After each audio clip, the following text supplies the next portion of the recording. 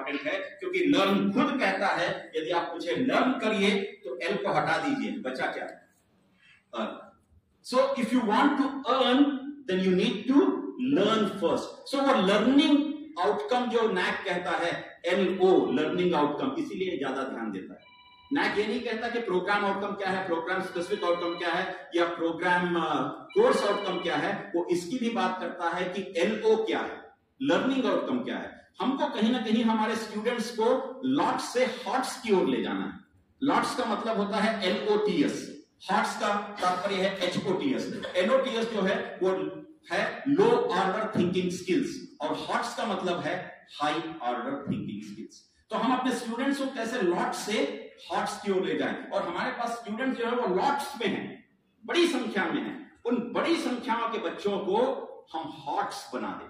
हम कहते हैं ना मार्केट में ये हॉट केक के जैसा दिख रहा है। तो हमारे बच्चे भी मार्केट में वो हॉट केक बन सके, जिनको हर कोई लेने के लिए अपनी ओर आकर्षित कर सके, उसमें कन्वर्ट करना है। So what is quality quality की परिभाषाएँ बहुत अलग अलग हो सकती हैं। प्रत्येक व्यक्ति के लिए अलग हो सकती हैं। प्रत्येक मुकाम पर अलग हो सकती हैं। लेकिन क्वालिटी है कि आप quality good intention sincere efforts intelligent direction और मेटिकुलस एग्जीक्यूशन के साथ यदि करते हैं तो वो आपकी क्वालिटी है। आपने नैक में सिंसियर एफर्ट किया, आपने मेटिकुलसली उसको एग्जीक्यूट किया, उसके बाद आपने intelligent direction the being a principal being an IQAC coordinator being a faculty member आपने उसको एक दिशा दी। और इसीलिए उस दिशा का परिचायक है कि इतने सारे महाविद्यालय हमारे नैक से मूल्यांकित हो पाए। और इसी में एक्सेलेंस भी बहुत बड़ी भूमिका निभा, निभाती है। और एक्सेलेंस की जहाँ तक बात करते हैं तो excellence is not only thinking but taking the thinking into action वो बहुत इंपॉर्टेंट है एक्सीलेंस के लिए। इसलिए अंग्रेज़ी में कहावत है thought without action is abortion यदि आप केवल सोचते हैं और उस पर अमल नहीं करते तो वो एबॉर्शन है। आगे चल के कहता है action without thought is folly और एक्शन ले लेते हैं बिना सोचे समझे तो वो फॉली इसलिए दोनों में कोलैबोरेशन कोऑर्डिनेशन कोऑपरेशन होना चाहिए। कि आपका एक्शन और आपके थॉट ये दोनों कोलैबोरेट होना चाहिए। मतलब आपका माइंड और आपका हार्ट दोनों का कोलैबोरेशन बहुत ज़रूरी है। नैक में जब हम गए थे अभी पिछले महीने ही नैक में उन सारे ईस्टर्न रीजन के सारे एस को बुलाया गया था तो आदरणीय आर एन सिंह सर जो कि प्राचार्य हैं वीवीटी महाविद्यालय के, वो और मैं दोनों जब गए थे और छत्तीसगढ़ का प्रेजेंटेशन देने का मौका आया तो मैंने नैक वालों से यही कहा था और जितने बैठे थे उनसे कहा था कि नैक केवल हैंड होल्डिंग की बात करता है। नैक कहता है कि हैंड होल्डिंग करना चाहिए मेंटर मेंटी बनाना चाहिए। हम उससे भी एक कदम आगे गए। हमने न केवल हैंड होल्डिंग की, बल्कि हैंड होल्डिंग करते करते हमने हार्ट होल्डिंग की। और ये सारा का सारा परिणाम हार्ट होल्डिंग का हैंड होल्डिंग का नहीं। हैंड होल्डिंग तो हमने किया, लेकिन आज हमने हार्ट होल्डिंग भी की है। और वो हार्ट होल्डिंग बहुत ज़रूरी है। वो सेंसिटिवनेस बहुत ज़रूरी है। उस हृदय का धड़कना बहुत ज़रूरी है। उस हृदय में हलचल होना बहुत ज़रूरी है। उस हृदय में संचार करना बहुत ज़रूरी है। उस हृदय को दूसरे के प्रति समर्पण की भावना के साथ परानुभूति कराने की भी ज़रूरत है कि मेरे आसपास के महाविद्यालय भी मेरे साथ आगे बढ़ सके और वो भी आगे चल सके। इस परानुभूति के साथ न केवल सहानुभूति, बल्कि परानुभूति के साथ हमको आगे बढ़ने की ज़रूरत है। और इसीलिए जो आउटकम है ग्रेजुएट आउटकम वो ये कहता है कि कहीं ना कहीं हमारे 50 परसेंट ऑफ़ स्टूडेंट्स एम्प्लॉयबल होना चाहिए। चेतन भगत ने कहा कि 90 percent of the engineering graduates are unemployable not because of their knowledge about the subject, but because of their attitudinal shift, because of their soft skills. तो हमें अपने स्टूडेंट्स को employable बनाना है। और 50 परसेंट या फिर उनको हमको सेल्फ सर्विस के लिए मोटिवेट करना है या खुद वो सर्विस को जनरेट करें ऐसा करने की ज़रूरत है। वो जॉब सीकर ना हो बल्कि जॉब प्रोवाइडर के रूप में कन्वर्ट हो सके ये भी हमें देखने की ज़रूरत है। और दूसरी ज़रूरत यह है कि टू थर्ड ऑफ़ द हमारे जो स्टूडेंट्स हैं, उन सारे को कहीं ना कहीं सोशली प्रोडक्टिव एक्टिविटी में एंगेज करने की ज़रूरत है और इसीलिए नैक कहता है कम्युनिटी एंगेजमेंट और इसीलिए नैक कहता है कि आपका सोसाइटल एनरिचमेंट क्या है और किस तरीके से आप अपने महाविद्यालय से निकल के, अपने महाविद्यालय के कंफर्ट जोन से एफर्ट करके बाहर निकलकर जो एक्टिविटी करते हैं, वो कम्युनिटी डेवलपमेंट की एक्टिविटी है। तो कैसे सोशल आउटरीच प्रोग्राम्स हम करते हैं, उस पर भी ध्यान देने की ज़रूरत है। और तीसरा कहता है 75 परसेंट ऑफ़ स्टूडेंट्स को जो है, हमें प्रोफेशनल स्किल्स सिखाने की ज़रूरत है।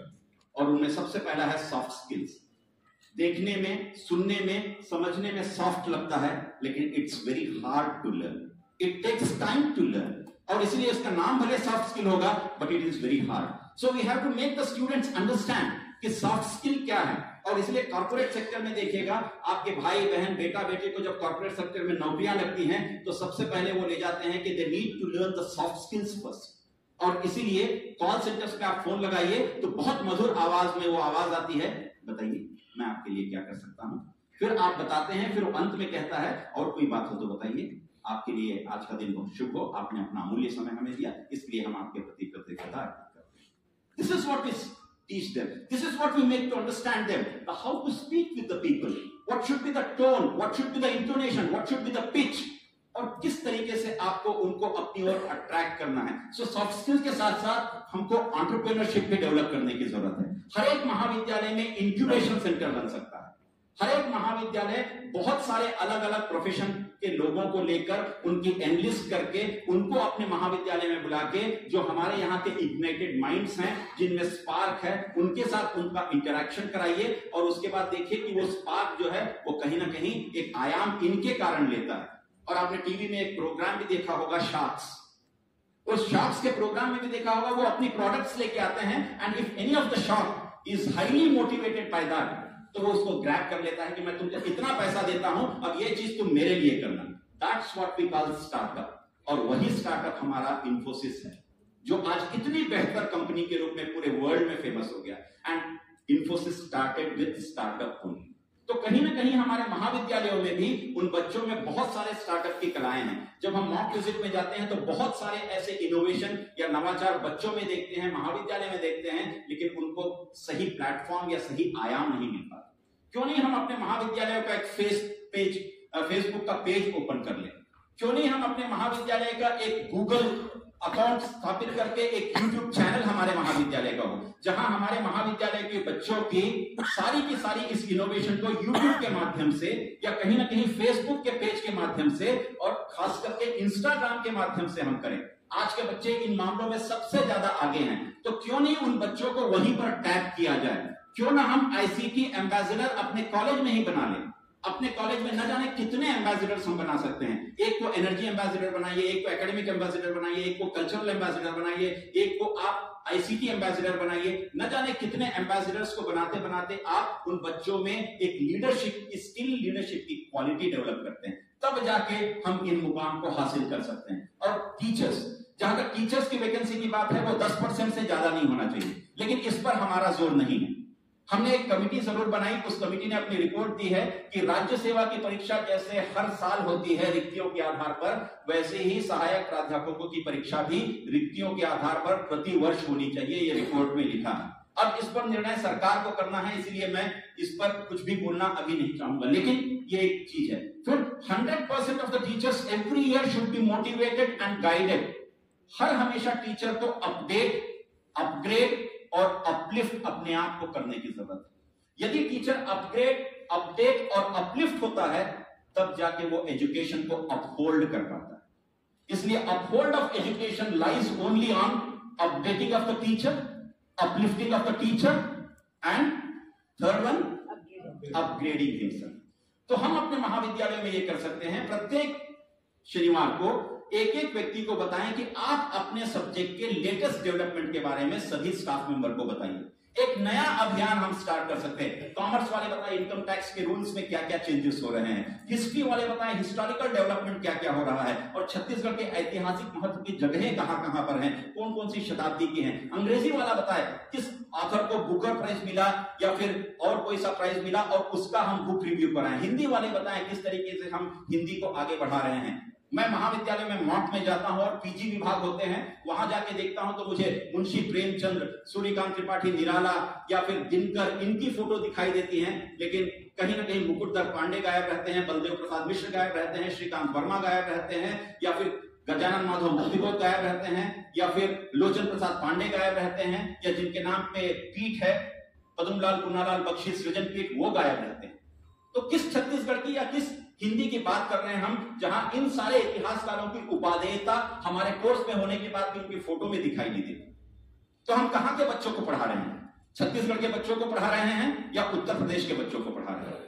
तो यदि हम अपने माटी से, अपने मूल से और अपने लोकल से आत्मसात नहीं करते हैं तो गुणवत्ता उन्नयन बेमानी हो और इसीलिए गुणवत्ता जो है वो लोकल टू ग्लोबल होनी चाहिए। और एवरी इंस्टीट्यूशन जो यूजीसी कहता है कि 2.5 स्केल के साथ नैक से एक्रेडिटेड होना चाहिए। वो अलग बात है कि हम 2.5 में सारे महाविद्यालय को नहीं ला पाए, लेकिन इतना तो ज़रूर कर पाए कि वो क्वालिटी का जो पथ है, उससे जो सारे बिखरे हुए थे, उन सारे को डीले हुए थे, उनको हमने ऑन द रेट कर पाए और इतने महाविद्यालयों का हम मूल्यांकन करा पाए और आगे चलकर हमारे लिए ये होगा कि जो सी ग्रेड प्राप्त महाविद्यालय हैं, वो बी से ऊपर कैसे जाएँ? जो बी है, वो ऊपर जाकर ए तक कैसे पहुँचे, उस पर भी हमारा प्रयास अब लगातार होगा। ये पहली वर्कशॉप है जो एक्यूआर पे है। इसके बाद लगातार वर्कशॉप होती रहेंगी। अलग अलग बातों को लेकर जिसमें आपको करना क्या है, ये पूरी की पूरी चीज़ें आपको बताई जाएँगी ताकि आप उसको अपने महाविद्यालयों में इंप्लीमेंट कर पाए। जो क्वालिटी टारगेट है, उसके लिए क्वालिटी पॉलिसी होनी चाहिए। नैक पूछता है do you have any quality policy of your institution हमारे पास क्वालिटी पॉलिसी नहीं होते। और क्वालिटी पॉलिसी के साथ साथ क्वालिटी के ऑब्जेक्टिव्स क्या हैं? यदि हमारे क्वालिटी की पॉलिसी है और क्वालिटी के ऑब्जेक्टिव हैं तो वो महाविद्यालय को टारगेट देता है डायरेक्शन देता है कि महाविद्यालय किस दशा में और किस दिशा में जा सकता है। तो उसके लिए बहुत इंपॉर्टेंट है। फिर इनिशिएटिव्स कौन कौन से लेने हैं? हमने मॉक में बहुत सारे इनिशिएटिव्स की बात की थी आईक्यूएससी से। आईक्यूएससी के प्रेजेंटेशन में हमने पूछा कि आपके क्वालिटी इनिशिएटिव्स क्या हैं। तो वो बताते हैं कि दो कमरे बने सर, फिर सर, इधर में हमने टीचिंग पोस्ट के लिए डिमांड की थी, वो टीचिंग पोस्ट आ गया, सर, ये सारी। जबकि क्वालिटी इनिशिएटिव्स वो नहीं होते। क्वालिटी इनिशिएटिव्स होते हैं अगले आने वाले पाँच सालों में या पिछले गुजरे हुए पाँच सालों में आपने अपने महाविद्यालय के उन्नयन के लिए क्या क्या सोचा है। उस क्वालिटी इनिशिएटिव में आएगा इंडक्शन प्रोग्राम इंडक्शन प्रोग्राम हम साल के शुरुआत में बच्चों के लिए कर देते हैं और बता देते हैं, ये सब्जेक्ट है, ये सिलेबस है, इस तरीके का कोर्स है, ऐसा इंटरनल होता है, ऐसा एक्सटर्नल होता है और ये सारे फीचर्स हैं। ये इंडक्शन प्रोग्राम लगातार होना चाहिए। एक बार सामूहिक रूप से होने के बाद प्रत्येक विभाग को इंडक्शन प्रोग्राम कराना चाहिए, पूरा सिलेबस जो है ट्रांसपेरेंट हो जाना चाहिए, पूरे टीचर्स ट्रांसपेरेंट हो जाना चाहिए, और उस महाविद्यालय की जितनी समितियाँ हैं वो ट्रांसपेरेंट होनी चाहिए, उसके जितने संयोजक हैं कोऑर्डिनेटर हैं, वो ट्रांसपेरेंट होना चाहिए, ताकि बच्चों को ये पता लगे कि इस महाविद्यालय में कितनी समितियाँ हैं, किस लिए काम करती हैं, उनका दायित्व क्या है, और वो पूरा इंडक्शन प्रोग्राम लगातार होते रहना चाहिए। इसलिए उसका नाम है इंडक्ट करना। बच्चों को यदि हम इंडक्ट नहीं करते हैं तो हमारा आउटकम नहीं निकल पाएगा। इसलिए एक कहावत भी है कि tell me I forget show me I remember involve me I understand तो जब तक हम स्टूडेंट्स को इन्वॉल्व नहीं करेंगे, तब तक हम उनको इवॉल्व नहीं कर पाएँगे। So until and unless you involve the students there will be no evolvement तो एवोल्यूशन संभव नहीं है। तो यदि हमको एवोल्यूशन चाहिए तो हमें इन्वॉल्वमेंट सबसे पहले उन स्टूडेंट्स का करना होगा। और दूसरा है learning outcome based curriculum framework जो यूजीसी ने एनओसीएफ का दिया है। हमारे यहाँ अगले साल से एनओसीएफ बेस्ड करिकुलम आ जाएगा। हमारे यहाँ अगले साल से क्रेडिट बेस्ड सिस्टम आ जाएगा। हमारे यहाँ अगले साल से आपको सिलेबस में ही पीओ पीएसओ सीओ सब लिखा हुआ मिलेगा। आज जो बीएससी का एक महाविद्यालय पीओ कुछ और लिखता है तो दूसरा महाविद्यालय कुछ और, तीसरा महाविद्यालय कुछ और लिखता है। सबके पीओ प्रत्येक अलग अलग प्रोग्राम के एक हो जाएँगे और वो भी बन चुका है। वो सिलेबस अगले साल से हमारे यहाँ लागू हो जाएगा। तो बहुत सारे परिवर्तनों के साथ हम छत्तीसगढ़ में एक नई बयार बहाने के लिए लगे हुए हैं। फिर ट्रैकिंग द स्टूडेंट्स प्रोग्रेशन सबसे ज़्यादा कमज़ोर कड़ी यह होती है कि स्टूडेंट्स का प्रोग्रेशन कहाँ हुआ? यूजी से पीजी में पीजी से पीएचडी में कहा गए बच्चे? या फिर हमारे बच्चों का प्लेसमेंट कहाँ हुआ? उसको ट्रैक करना हमारे लिए बड़ा मुश्किल होता है। तो क्यों नहीं हर एक महाविद्यालय एल्यूमिनी का एक फेसबुक का पेज बना दे? जो आपके वेबसाइट में एल्यूमिनी का टैब है, उसको लगातार अपडेट करिए और एक एल्यूमिनी का अलग से फेसबुक का पेज बना के उसमें सारे एल्यूमिनी को जोड़ते जाइए। आजकल के इस मीडिया के युग में ये सारी चीज़ें बहुत आसान हैं और आपके ईमेल को कोई देखे ना देखे, लेकिन फेसबुक पे तो ज़रूर देखेगा, क्योंकि वही फेसबुक जो है, वो बुक करता है उनके फेस को इसलिए उसका नाम फेसबुक है। और कहीं ना कहीं वो बुक हो जाएँगे आपके साथ। तो वो ज़रूरत है हमारी। फिर एग्जामिनेशन रिफॉर्म्स हम सारे लोग पेपर का लगातार कहीं ना कहीं सेटिंग करते हैं और उन सेटिंग में भी हम लगातार देखते आ रहे हैं कि पहले हम 10 प्रश्न देते थे, जिसमें पाँच बनाने होते थे और आज हम short answer medium answer long answer और ऑब्जेक्टिव में उतर गए हैं। और ये रिफॉर्म्स हमारे हो रहे हैं तो हम एक और रिफॉर्म करें। नैक पूछता है कि programme outcome programme specific outcome course outcome के साथ आपके क्वेश्चंस की मैपिंग कैसे होती तो अब हम प्रोग्राम आउटकम बेस्ड क्वेश्चंस जो है यूनिट टेस्ट में देने लगे। ताकि अचानक से यूनिवर्सिटी यदि इस तरीके के क्वेश्चंस आपको सेलेक्ट करने के लिए या बनाने के लिए कहती है और ऐसे क्वेश्चंस एग्ज़ाम में आ जाते हैं तो विद्यार्थी एकदम से घबरा जाएँगे। तो क्यों नहीं हम यूनिट टेस्ट में ही प्रोग्राम आउटकम बेस्ड क्वेश्चंस बना के बच्चों को पहले से ही अभ्यास कराना प्रारंभ करें ताकि एग्जामिनेशन रिफॉर्म के बारे में बच्चे भी जागृत हो सके, जान सके और हमारा रिज़ल्ट कहीं पर भी नीचे ना आए। फिर सॉफ्ट स्किल्स की बात मैंने की थी mentoring of non accredited institutions यदि मेरा इंस्टीट्यूशन एक्रेडिटेड है तो मेरी जिम्मेवारी है कि मैं आसपास के इंस्टीट्यूशंस को भी जाऊँ और उनको भी एक्रेडिटेशन प्रोसेस के लिए मोटिवेट करूँ मेंटर करूँ और उनके हैंड होल्डिंग से साथ हार्ट होल्डिंग भी मैं कर पाऊँ। क्योंकि लीडर वो होता है जो अपने पीछे कई लोगों को तैयार करता है। नहीं लीडर वो होता है जो अपने साथ कई लोगों को तैयार करता है और हमें उबंटू बनने की ज़रूरत है। एक अमेरिकन साउथ अफ्रीका में गया और उसने कहा कि मेरे पास पूरा एक टॉफी की पोटली है और जो रेस में फ़र्स्ट आएगा मैं उसको दूँगा और हंड्रेड मीटर्स में उसने पोटली को रख दी और उन्होंने बच्चों को खड़ा किया और कहा, वन, टू, थ्री कहूँगा और आप सभी को दौड़ना है। उसने वन कहा, कोई हलचल नहीं हुई। टू कहा, थोड़ी सी हलचल हुई। और जैसे टू से आगे थ्री की ओर बढ़ने लगा तो उसने देखा कि दो बच्चों ने दो दो हाथ फैलाए और सारे बच्चों ने एक दूसरे के हाथ पकड़े और जैसे ही थ्री कहा सब एक साथ दौड़ के उस पोटली की ओर गए और उस पोटली को उन्होंने प्राप्त करके सबने बांट लिया।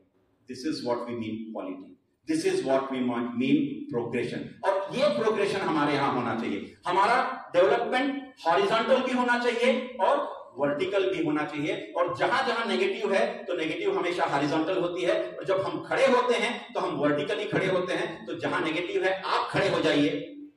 चीज़ें अपने आप पॉजिटिव हो जाती So that mindset, that attitude has to be converted among the students and the faculty members. फिर social और industry connect की बात करते हैं तो जितनी इंडस्ट्रीज़ हैं आसपास तो उसके साथ social connection की बात करें हम क्योंकि IQSC को ये सब इनिशिएटिव्स लेनी है इसलिए इसकी बात कर रहा था प्रमोटिंग क्वालिटी रिसर्च किस तरीके से हम क्वालिटी रिसर्च को आगे बढ़ा सके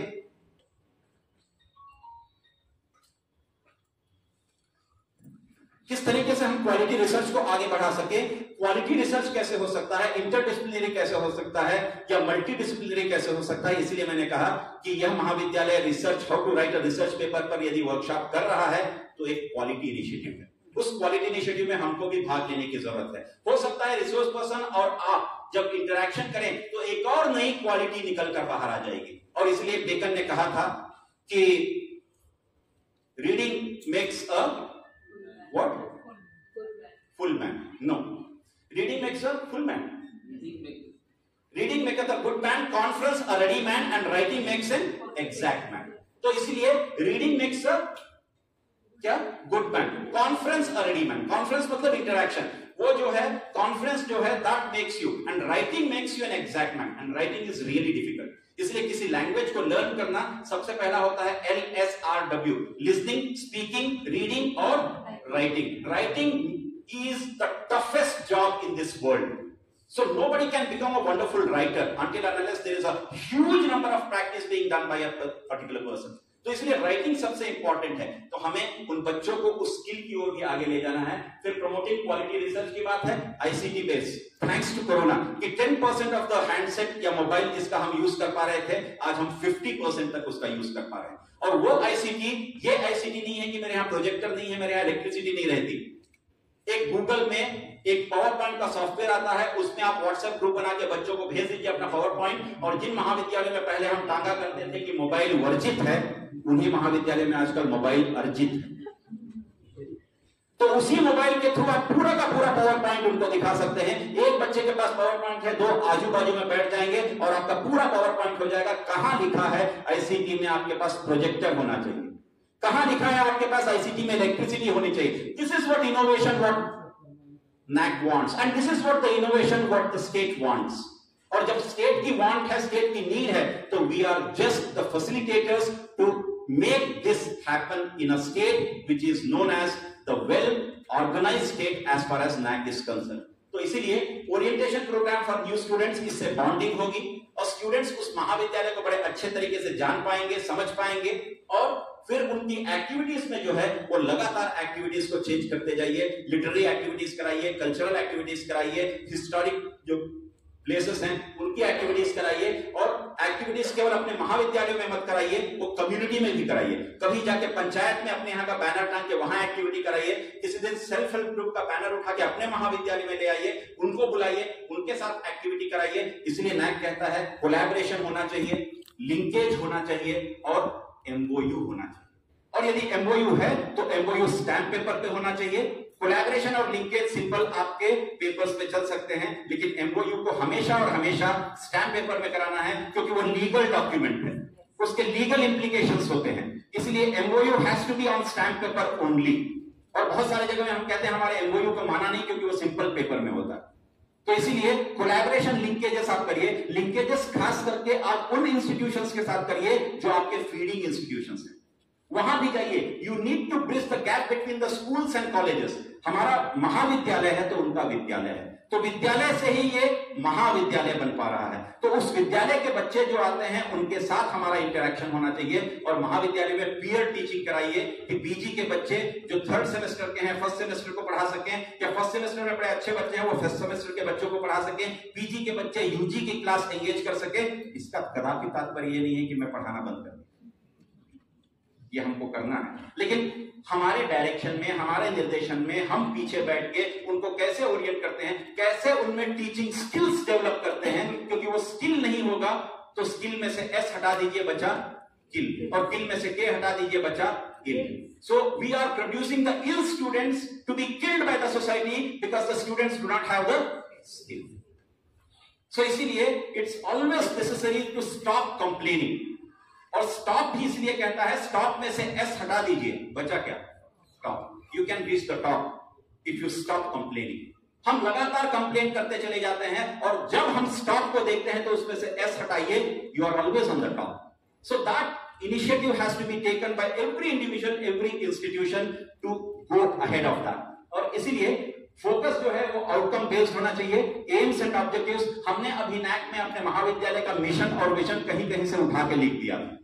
और इसलिए नायक ने कहा कि your mission and vision doesn't match with the activities you have conducted हमने कहा कि हमने इन सारे स्टूडेंट्स के लिए जो कि वीकर सेक्शन से आते हैं, बहुत सारे प्रोग्राम्स करते हैं, उसमें लिखा था। लेकिन एक भी प्रोग्राम हमारे यहाँ हुआ नहीं, या हुआ तो एक आध हुआ अब मिशन और विजन महाविद्यालय की समस्त गतिविधियों को देखते हुए बनाइएगा, ताकि उस मिशन और विजन के अनुसार आप जितनी एक्टिविटीज़ करते हैं, वो एक दूसरे के साथ कोलैबोरेट होना चाहिए। उस तरीके से हमको एम करने की ज़रूरत है। और ये पर्सनैलिटी डेवलपमेंट हमने कभी करवाया था।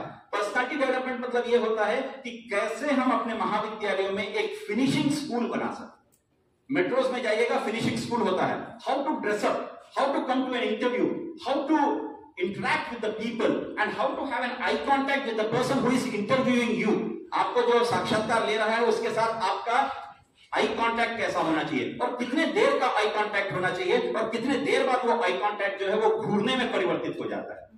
आपका टोन कैसा होना चाहिए पिच कैसा होना चाहिए वॉइस मॉड्यूलेशन कैसा होना चाहिए, हर एक चीज़ में हमारे बच्चों को बताने की ज़रूरत है। मैं मानता हूँ कि सुकमा का भी बच्चा है, वो भी किसी बंबई के बच्चे से कम नहीं है, लेकिन कमतर इसलिए हो जाता है क्योंकि उसको ये स्किल्स नहीं होती। और इसीलिए वो कमतर हो जा रहा है। और हम कहते हैं हमारे बच्चे जो है, अंग्रेज़ी में बड़े कमज़ोर हैं। बच्चे कोई भी कमज़ोर नहीं है, ना हम कमज़ोर हैं। मैं हमेशा कहता हूँ, कमज़ोर को उल्टा पढ़ना चाहिए। कमज़ोर वो इसलिए है क्योंकि उसने ज़ोर कम लगाया। कमज़ोर खुद कहता है कि आप ज़ोर कम लगाते हैं, इसलिए आप कमज़ोर हैं, और जिस दिन आप ज़ोर लगाइए, आप कभी कमज़ोर हो ही नहीं सकते।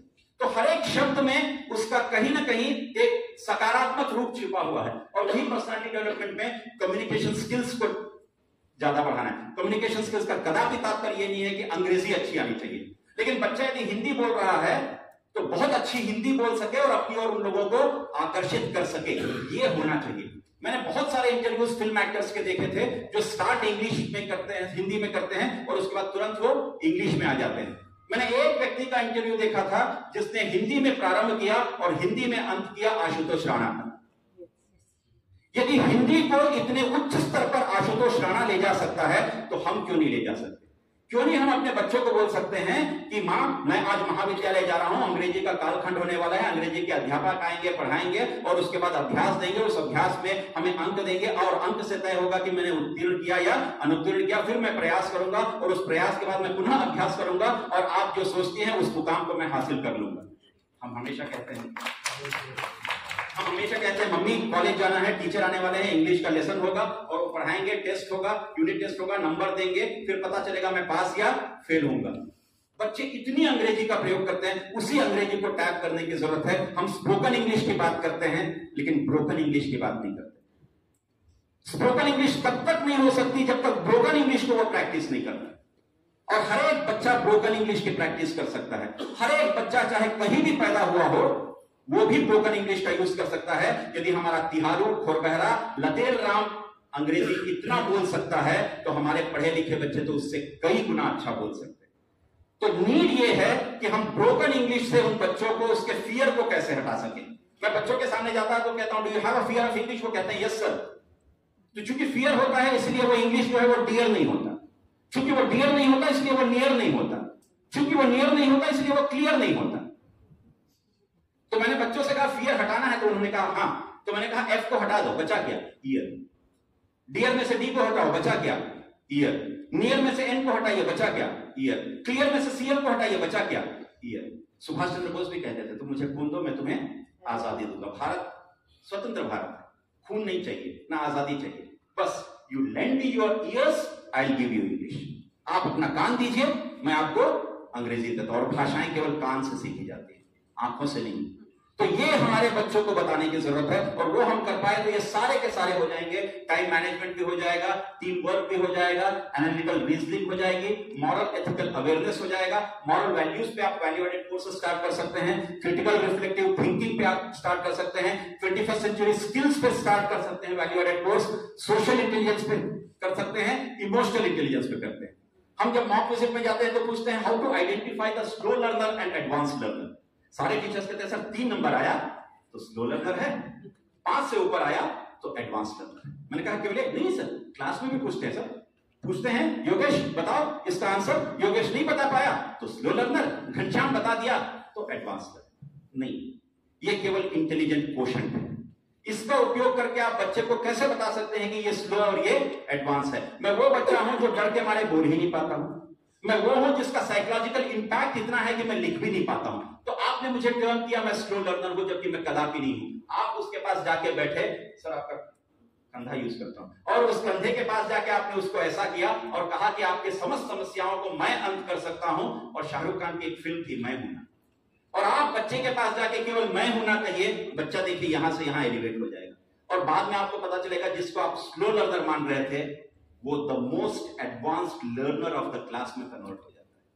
तो वो जो टच है, उसकी ज़रूरत है। और यदि आप टच नहीं करते स्टूडेंट्स को तो take out T what remains is ouch right तो बच्चों को आउच करने का मौका ना दें, इसलिए बच्चों को टच करें, स्पर्श करें, कहीं ना कहीं उनके हार्ट में, कहीं ना कहीं उनके हेड में हम रहें। इसलिए शेक्सपियर ने कहा था if you criticise me if you blame me if you scold me I am very happy आप मुझे गाली दीजिए, मुझे बहुत अच्छा लगता है, क्योंकि कहीं ना कहीं मैं आपके दिमाग में हूँ। और आप मुझे प्यार करिए, मुझे, आप प्रशंसा करिए तो कहीं ना कहीं मैं आपके दिल में हूँ। और दोनों तरीके से मैं कहीं ना कहीं तो आपके पास हूँ। और आप आज के जमाने में कहते हैं, सांस लेने की फुर्सत नहीं है। उस सांस लेने की फुर्सत नहीं के जमाने में शाम को आप गाली तो दे पा रहे हैं तो कहीं ना कहीं मैं आपके दिमाग और प्रशंसा कर पा रहे हैं तो कहीं ना कहीं मैं आपके दिल में हूँ। तो उस तरीके से भी आप मेरा यूज़ कर पा रहे हैं। तो आपने मेरे लिए तो बहुत बड़ा उपकार किया है। और इसीलिए E is equal to M C square निकल कर बाहर आया। जब आइंस्टीन से पूछा गया what is the secret of E is equal to M C square तो उसने कहा, ये सारे लोगों ने कहा था, Einstein you can not do it and I did it because of them so all the credit goes to my critics so इसीलिए कबीर ने भी कहा था, निंदक नियरे राखिए तो उन को पास में रखने की ज़रूरत है। और महाविद्यालयों में ये नवाचार करिए, बहुत सारे निंदा करने वाले पैदा होंगे। इसलिए निंदा के बारे में कभी चिंता मत करिए, क्योंकि हिंदी कहता है, चिता चिंता समायुक्ता, बिंदु मात्र विशेषता, सजीव दहते चिंता, निर्जीव दहते चिता। तो बिंदु है बस। और वही हिंदी जो है, वो भारत की बिंदी। है तो उसको कैसे आप आगे बढ़ा सकते हैं, उसे भी देखने की ज़रूरत है। और असेसमेंट और इवेल्युएशन लगातार इसमें परिवर्तन करते जाइए, कोई यूनिट टेस्ट ही इंपॉर्टेंट नहीं है, उसके बेस पे आप क्विज कराइए, उसके बेस पे ग्रुप डिस्कशन कराइए, उसके बदले आप इंटरैक्टिव एक्टिविटीज़ कराइए, और बच्चों में लगातार ये बोलिए कि बच्चे बाहर निकल के आए। ये पूरा मेरा एक ग्रुप है, इनको मैं यहाँ ले आया, इनको एक टॉपिक दे दिया, और मैंने कहा प्रत्येक बच्चे को कुछ ना कुछ तो ज़रूर भूलना। और देखिएगा, प्रत्येक बच्चा कुछ ना कुछ बोलेगा और वो उसको आगे चल के याद करेगा कि आपने मुझे मौका दिया, जिसके कारण मैं आज ऐसा खड़े हो पाया जैसा कि अंगद के पैर में हिला ही नहीं वहाँ से। पहले तो हम पाँव बहुत हिल रहे थे, लेकिन अब वो स्थिर हो गए हैं। तो वो हमको कहीं ना कहीं प्रॉब्लम बेस्ड असाइनमेंट देने की ज़रूरत है। नैक पूछता है कि केस स्टडीज़ तो केस स्टडीज़ हमारे कोर्स में नहीं है तो कोई दिक्कत नहीं। अपना महाविद्यालय बेस्ट प्रैक्टिस के तहत बच्चों को एक ग्रुप को केस स्टडी करा सकता है। बेस्ट प्रैक्टिस हम कहाँ कहाँ खोजते हैं? जबकि बेस्ट प्रैक्टिस तो हमारे अंदर में ही हमारे पास ही निहित है। एक महाविद्यालय ने लिखा सांप्रदायिक सौहार्द हमारा बेस्ट प्रैक्टिस है। अरे वो ना हो तो महाविद्यालय किस काम का? फिर एक महाविद्यालय ने लिखा कि नो प्लास्टिक और पानी की बोतल जो थी वो प्लास्टिक की थी। और जो बुके दिया वो भी किसकी थी? उसमें भी प्लास्टिक था। मैंने कहा, कौन सा नो है? एनओ या के एन ओ डब्ल्यू क्योंकि दोनों तो नो है। तो किस नो की बात कर रहे हैं हम? और यदि हम कह रहे हैं वो बेस्ट प्रैक्टिस है तो let it be the best practice NAAC बात नहीं करता प्रैक्टिसेस की क्योंकि नैक को मालूम है प्रैक्टिसेस बहुत सारे हैं। उनमें कुछ प्रैक्टिसेस गुड होंगी। उनमें से कुछ निकलकर बेटर होंगी। और उनमें से दो उसको चाहिए होगा बेस्ट प्रैक्टिस इसलिए नैक बात करता है सुपरलेटिव डिग्री की, न तो कंपैरेटिव की, न तो पॉजिटिव सुपरलेटिव डिग्री उसको चाहिए होगी। और वही हमको खोजने की ज़रूरत है। और वो क्राइटेरिया वन से लेकर क्राइटेरिया सिक्स तक हो सकता है। फॉर एग्ज़ाम्पल सर, हमारे कॉलेज में तो पेपर का यूज़ ही नहीं होता, सर। सारे के सारे नोटिस जो भी जाते हैं, वो या तो ईमेल में जाते हैं, या व्हाट्सएप पे हम शेयर करते हैं, पेपर यूज़ नहीं होता। और यदि यूज़ होता भी है तो सर, एक साइड में निकालते हैं, अगली बार उसी को रिसाइकल करके उसके पीछे साइड में भी निकाल देते हैं, और उसके बाद उन सारे को इकट्ठा करके, सर पेपर पल्प बना के, ये आपको दिए ना, सर, बच्चे पेपर स्टैंड ये उसी बल्ब का बना हुआ है, सर, हमारे बच्चों ने बनाया। This is what we call best out of waste sir, ये उसका बना है। This is what the best practice is all about तो हमें वो भी करने की ज़रूरत है। इस तरीके से बेस्ट प्रैक्टिस को खोजने की ज़रूरत है? नैक के वेबसाइट पे जाके बेस्ट प्रैक्टिस को देखिएगा। There are 500 best practices which have been incorporated by various institutions और उनसे लेके नैक ने हम सबके लिए रखा है कि आप अपने महाविद्यालय के हिसाब से उस बेस्ट प्रैक्टिस को मत लीजिए, लेकिन उसमें से कुछ लेकर कस्टमाइज कर लीजिए। तो अपने महाविद्यालय के हिसाब से कस्टमाइज करने की ज़रूरत है। और फैकल्टी एनरिचमेंट लगातार हमारे न्यू फैकल्टी को एनरिच करने की ज़रूरत है, जो अभी आदरणीय कमलेश सर ने कहा कि नए लोगों को मौका देने की ज़रूरत है तो विभाग के द्वारा अब एचआरडीसी रायपुर और एचआरडीसी गुरु घासीदास विश्वविद्यालय को पत्र लिखा जाएगा कि जितने भी हमारे नवनियुक्त सहायक प्राध्यापक हैं, उनका ओरिएंटेशन किया जाए, उनके सब्जेक्ट ओरिएशन ओरिएंटेशन किया जाए, उनको सारे अपडेट्स के बारे में बताया जाए, क्योंकि कई लोग तो स्कूल में पढ़ाते हुए आए हैं, कई लोगों ने तो केवल प्राइवेट में कॉलेज अटेंड की है और आज असिस्टेंट प्रोफेसर बन गए हैं। कई लोगों के पास किसी प्रकार का कोई अनुभव ही नहीं है। तो अनुभव के बिना वो कैसे अनुभव कर पाएँगे कि वो बच्चा जानना क्या चाहता है? तो इसलिए एचआरडीसी से हमारी लगातार कोशिशें चल रही है कि हम सारे महाविद्यालयों में जो नवनियुक्त प्राध्यापक हैं, उनको कहीं ना कहीं ओरिएंटेशन करा पाए। फिर टेक्नोलॉजी का इंटीग्रेशन कैसे करें?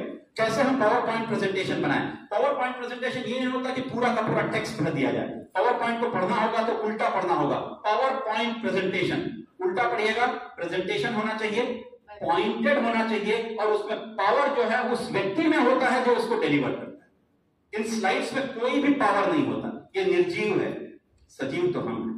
उस स्लाइड में प्राण वायु फूकने का काम हम करते हैं। उस स्लाइड को ज़िंदा तो हम करते हैं। इसीलिए प्रेजेंटेशन हमारा पॉइंटेड होकर पावरफुल होना चाहिए, वो भी हमको बताने की ज़रूरत है। और महाविद्यालय में जेंडर सेंसिटाइजेशन के बारे में विमेन एम्पावरमेंट के बारे में, या इंटीग्रेशन ऑफ़ ह्यूमन वैल्यूज़ के बारे में प्रोफेशनल एथिक्स के बारे में बताने की ज़रूरत है। हर एक प्रोफेशन की अपनी एथिक्स होती है, उसको भी बच्चों को बताने की ज़रूरत है। और connect each with local communities कैसे हम लोकल कम्युनिटीज के साथ बच्चों को एंगेज करें, जिसकी बात मैं कर रहा था क्लासेस टू मासेस और मासेस टू क्लासेस की बात कर रहा था, वो कम्युनिटी एंगेजमेंट है, क्योंकि बच्चे वहाँ से आते हैं और उनको हम लेटेस्ट डेवलपमेंट्स के बारे में बताते हैं, आसपास के डेवलपमेंट की हम बातें नहीं करते हैं तो कहीं ना कहीं हम उनके साथ बेमानी करते हैं। इसलिए ये कनेक्ट करने की ज़रूरत है। फिर एल्यूमिनी एंगेजमेंट अब नैक ने तो ये भी बंद कर दिया है कि एल्यूमिनी में कितना पैसा होना चाहिए। लेकिन नैक ये कहता है कि एल्यूमिनी रजिस्टर्ड होना चाहिए और एल्यूमिनी के लोग आपके महाविद्यालय में आने चाहिए। उनके साथ आपका एक एसोसिएशन होना चाहिए। तो एल्यूमिनी का ये मतलब नहीं है कि केवल पैसा दे, बल्कि एल्यूमिनी अपने रिसोर्सेस को टैप करके महाविद्यालय के लिए क्या क्या उन्नति कर सकती है, ये भी बहुत ज़रूरी है। कल मुझे पता चला कि रायपुर संभाग का एक वर्कशॉप थी आपके ही जैसे, और कल वहाँ पता चला कि एक लड़का जो लवन महाविद्यालय में सहायक प्राध्यापक है, उसने अपने महाविद्यालय के लिए एक फ्रिज डोनेट किया this is what alumni engagement is how to motivate the students to do for the betterment of the institution हम कभी देश से ये नहीं पूछते कि देश ने हमारे लिए क्या किया। बल्कि हम ये कहते हैं कि हमने देश के लिए क्या किया। तो हमारा जो एल्मा मैटर है, उसके लिए हम क्या कर पाए? तो इसके लिए कॉलेज को इनिशिएटिव लेना पड़ेगा कॉलेज को लोगों को बुलाना पड़ेगा, उनको इंस्पायर करना पड़ेगा और मोटिवेट करना पड़ेगा एग्जीक्यूट करना पड़ेगा वाइब्रेंट बनाना पड़ेगा एंटरप्राइजिंग बनाना पड़ेगा, तब जाके ये सारी चीज़ें हो पाएँगी। केवल नैक के लिए एक बार, दो बार आप एल्यूमनी कनेक्ट करा लेंगे तो कुछ भी हासिल होने वाला नहीं है। ये लगातार की प्रक्रिया है जो हमेशा होती रहनी चाहिए। और इसीलिए टेक्नोलॉजी एडॉप्टेशन होना चाहिए। मूक और स्वयं, हमारे यहाँ बहुत बढ़िया ई रिसोर्स हर एक महाविद्यालय में हो सकता है। आप मूक के पोर्टल में जाइए, स्वयं के पोर्टल में जाइए। बहुत सारे वहाँ पर आपको ई मटेरियल्स हैं, उन सभी को डाउनलोड कर लीजिए। इग्नो के साइट पे जाइए। इग्नो का एक ऐप है और इग्नो की जितने सारे कोर्सेस हैं, उन सारे का ई कंटेंट उसमें अवेलेबल है। उन सबको डाउनलोड करिए और महाविद्यालय में एक बहुत बढ़िया ई रिसोर्स का फोल्डर बना के आप लाइब्रेरी में डिपार्टमेंट में रख सकते हैं। आपके बच्चे और आप उसको पढ़ सकते हैं। तो जिसकी हम बात कर रहे हैं कि ई रिसोर्सेस कहाँ से मिलेंगे? बहुत सारे फ्री ई रिसोर्सेस अवेलेबल हैं। पीडीएफ ड्राइव को देखिए। पीडीएफ ड्राइव में न जाने कितने सारे e resources free of cost available हैं। प्रोजेक्ट गुटनबर्ग को देखिए। प्रोजेक्ट गुटनबर्ग में आपको बहुत सारे ई रिसोर्सेस मिलेंगे। हमने कभी टैप किया क्या? ई पीजी पाठशाला जाइए। पीजी वालों में ई पीजी पाठशाला की न जाने कितने सारे पावर पॉइंट पीडीएफ वहाँ अवेलेबल हैं। उसमें यूजी के भी अवेलेबल है। हमें बच्चों को बताना पड़ेगा कि ये सारे e resources free of cost available हैं। और हमको अपने महाविद्यालय के प्रत्येक फैकल्टी को ई विद्वान में रजिस्ट्रेशन कराना होगा। ई विद्वान में आप रजिस्ट्रेशन कराते हैं तो यूजीसी को जब भी एक एक्सपर्ट टीम की ज़रूरत होती है तो वो एक्सपर्ट ई विद्वान से लेती है। और नैक के एक्सेसर में भी देखिएगा नैक के एक्सेसर का जो फॉर्म भरते हैं, उसमें बहुत ज़रूरी होता है कि आपका रजिस्ट्रेशन ई विद्वान में है कि नहीं। तो ई विद्वान में हमारा रजिस्ट्रेशन होना चाहिए। और जितने ई रिसोर्सेस हैं, उन सबको हम टैप कर पाए, तब जाके ये टेक्नोलॉजी एडेप्टेशन होगा। क्वालिटी रिसर्च की मैं बात कर चुका हूँ। मेंटरिंग द वीक इंस्टीट्यूशंस जो आसपास के प्राइवेट इंस्टीट्यूशंस हैं, उनके साथ भी कोलैबोरेशन करिए। उनके साथ भी लिंकेजेस करिए। क्योंकि ये जमाना ऐसा है, साथ ही बात बटाना एक अकेला थक जाएगा, मिलकर बोझ उठाना। तो हम सभी मिलकर उस गुणवत्ता के बोझ को उठा सकें और उसको हल्का कर सकें, वो निहायत ज़रूरी है। और इसीलिए एजुकेट टू एलिवेट हम एजुकेट क्यों करें?